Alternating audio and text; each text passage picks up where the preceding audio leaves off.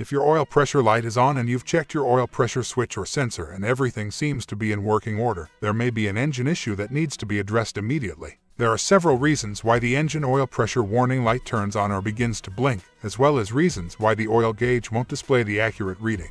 Let's talk about them, but just before we start, please make sure you've subscribed to the channel. Faulty oil pump.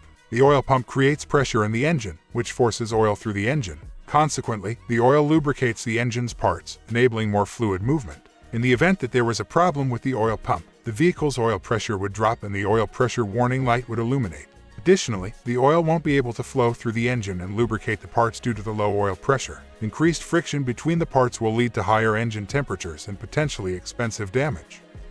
Clogged oil passages in the engine. Engine oil is kept in the crankcase or oil pan. The majority of engines have an oil capacity of 4 to 6 quarts. The engine oil pump's duties include pressurizing the oil and circulating it. Oil flows directly to the oil filter after it exits the pump, allowing impurities to be removed. After passing through the filter, all of the clean oil will go through a number of passageways before arriving at the crankshaft. The engine's bearing surfaces allow oil to flow through them thanks to the crankshaft's passageways. The oil pressure light on your dashboard would illuminate if these passageways became clogged, preventing oil from passing through. The outcome might be either high or low oil pressure. If the problem is not fixed, your engine may sustain significant damage. Low engine oil. Oil keeps the car's engine lubricated. A tiny leak may eventually cause the oil level to start to drop. The likelihood of an oil leak increases with age of the vehicle. The rear main seal, oil pan gasket, valve cover gasket, and even the drain plug are frequently the sites of oil leaks. It might seem apparent, but oil loss is almost guaranteed to result from an under-tightened oil cap that is missing.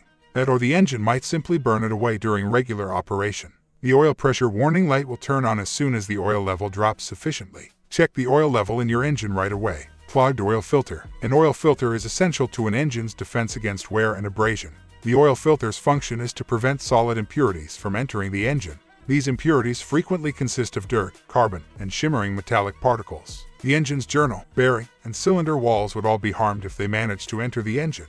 In other words, your engine will run better the more pollutants it filters out. But eventually, especially if they aren't changed during an oil change, oil filters tend to clog. When this occurs, your car's oil pressure will drop and your engine's oil pressure warning light will turn on. The low oil pressure will then cause problems for your car to occur. Thus, in order to prevent the problem from getting worse, you must replace your oil filter right away. Remember that neglecting the oil pressure light can result in significant harm to the engine. If you're not sure, get advice from a qualified mechanic to identify the problem and take quick action.